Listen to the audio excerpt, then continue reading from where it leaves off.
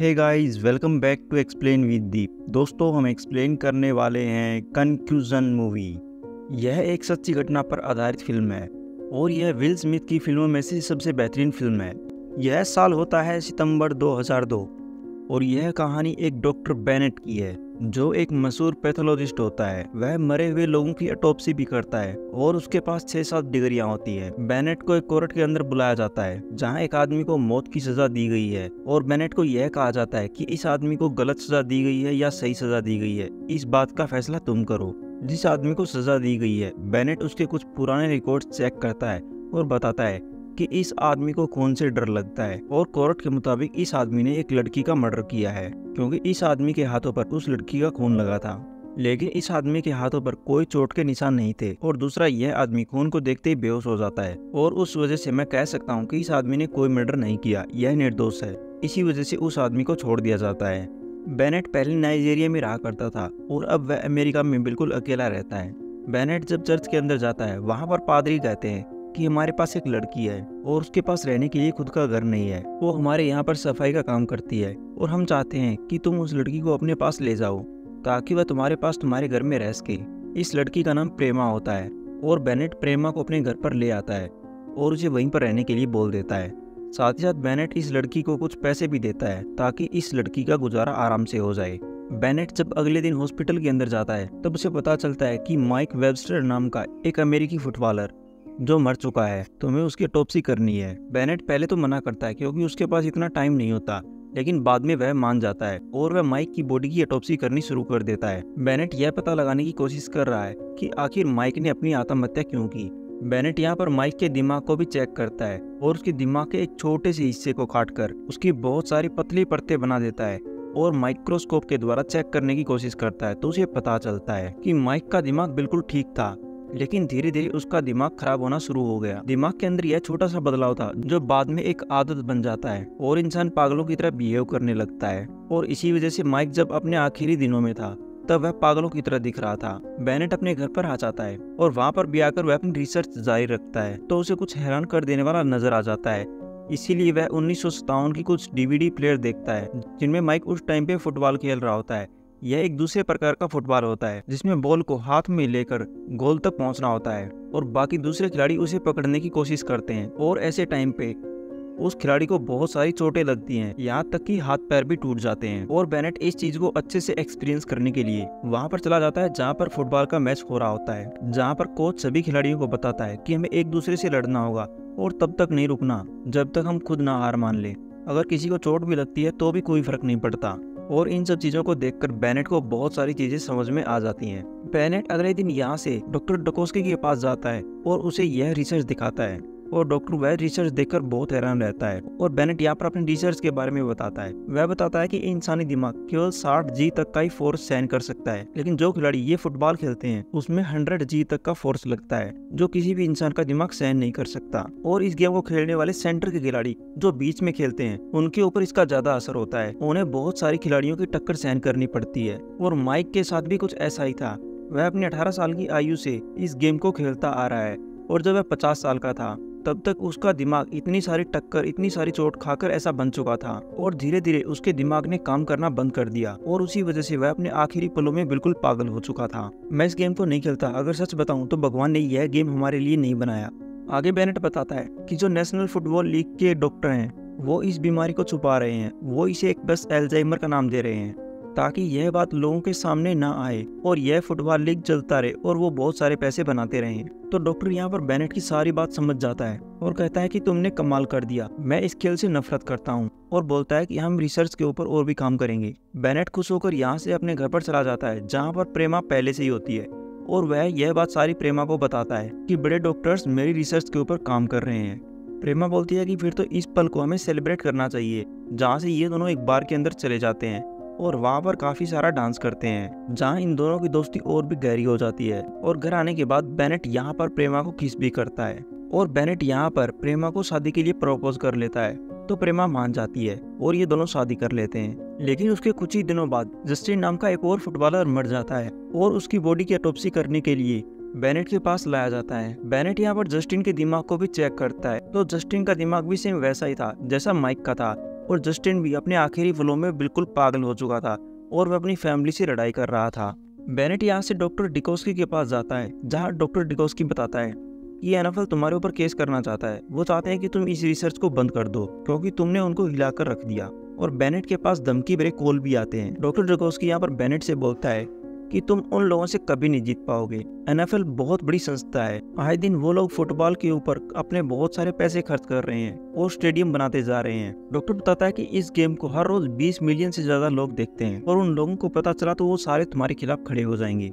लेकिन डॉक्टर बैनेट पीछे हटने वालों में से नहीं था। वह मीडिया को भी बता देता है कि यह गेम बहुत खराब है। यह लोगों के दिमाग खराब कर देता है और इसी वजह से माइक जैसे बड़े फुटबॉलर की मृत्यु हुई है। बैनेट के पास जूलियन नाम का एक आदमी का फ़ोन आता है। और वह बैनेट से मिलने के लिए बोलता है। बैनेट जूलियन से मिलने के लिए जाता है, जहाँ जूलियन बताता है कि मैं माइक का दोस्त हूँ और मुझे पता है कि तुम बिल्कुल सही हो। एनएफएल यानी नेशनल फुटबॉल लीग ने मेरे दोस्त की जान ले ली। वह अपने आखिरी दिनों में पागल हो चुका था और मैं भी अब इस गेम के बिल्कुल खिलाफ हूँ। लेकिन लीग वाले तुम्हारी बात को दबा देंगे और उन्होंने तुम्हारी बात को झूठा साबित करने के लिए खुद का एक एक्सपेरिमेंट भी किया है, जहाँ उन्होंने बंदरों को हेलमेट पहनाकर आपस में टकरवाया था। और उन्होंने साबित कर दिया कि तुम्हारी रिसर्च बिल्कुल गलत है। जूलियन बोलता है कि तुम्हें अपने आप को साबित करने के लिए और भी लोगों के ऊपर रिसर्च करनी होगी। उन फुटबॉलर के बारे में भी पता करना होगा जो पहले से ही मर चुके हैं। वहीं एक जगह हम एंड्रे नाम के एक फुटबॉलर को देखते हैं और वह अपने भाई डेव से मिलने के लिए आया होता है। ये दोनों पहले फुटबॉल खेला करते थे, लेकिन डेव अब शिकागो का एक मेयर बन चुका है। एंड्रे को यहाँ पर अपने भाई डेव से कुछ पैसे चाहिए थे, लेकिन डेव मना कर देता है। एंड्रे बिल्कुल पागल हो चुका है और वह घर पर आकर खुद को गोली मार लेता है और बेनेट यहाँ पर एंड्रे के दिमाग को भी स्कैन करता है, उसके ऊपर भी रिसर्च करता है और उसके दिमाग का भी सेम वही हाल था जो बाकी प्लेयर्स का था। बेनेट यह बात डॉक्टर जुलियन को बताता है और कहता है कि हमारे पास चार लोगों की रिसर्च है और उन रिसर्च का सेम ही रिज़ल्ट है। और अब हम एनएफएल के ऊपर केस कर सकते हैं और इस खेल को बंद करवा सकते हैं। इसीलिए एनएफएल के एक डॉक्टर से बात की जाती है, जिसका डॉक्टर मरून नाम होता है और उसे इस सारी सिचुएशन के बारे में बताया जाता है कि आपका गेम लोगों की जान ले रहा है। हमने चार लोगों के ऊपर रिसर्च की है और उन चारों का दिमाग बिल्कुल खराब था। बेनेट यहाँ पर डॉक्टर मरून से कहता है कि मैं एनएफएल से कुछ खिलाड़ियों को लेना चाहता हूँ, कुछ नए खिलाड़ी और कुछ पुराने खिलाड़ी। और मैं उनके ब्रेन को स्कैन करना चाहता हूँ। लेकिन डॉक्टर मरून बोलता है कि तुम अपना बिज़नेस कर रहे हो। तुम एक छोटे पैथोलॉजिस्ट हो, जो छोटी मोटी टॉपसी करता है, और इसके अलावा तुम कुछ भी नहीं हो। एनएफएल लोगों के लिए वरदान है। इसने बहुत सारे लोगों को जॉब दे रखी है, और तुम इसके ऊपर ताला लगवाना चाहते हो। बेनेट बोलता है कि जो लोग मारे जा चुके हैं, वो तुम्हारे आदमी थे, और इसी तरह तुम्हारे आदमी और भी मारे जाएँगे। लेकिन तुम्हें सच का पता है कि इनके साथ क्या होता है। कम से कम अब तो सच बोल दो। तो डॉक्टर मरुण बोलता है कि ठीक है। मैं इसका सोचकर जवाब देता हूँ और यह कहकर वहाँ से चला जाता है। बेनेट यहाँ से अपनी पत्नी के पास जाता है और उसे कहता है कि लोग मेरी बातों को समझ नहीं रहे। वो मुझे बस छोटा और मामूली आदमी समझ रहे हैं। प्रेमा बोलती है कि वो तुम्हें छोटा आदमी ज़रूर समझते हैं।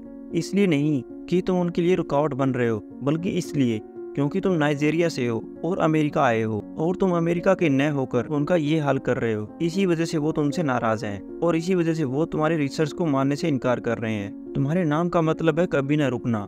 तुम बस इसके ऊपर काम करते रहो और कभी मत रुको।